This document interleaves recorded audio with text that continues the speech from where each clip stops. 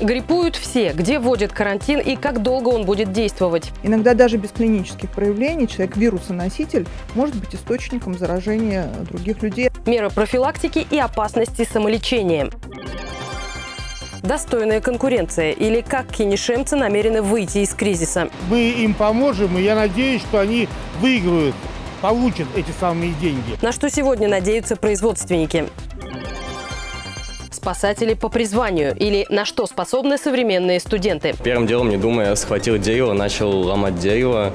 Получилось то, что вырвал его с корнем каким-то образом. Чем рисковали и за что больше всего переживал спасенный мальчик?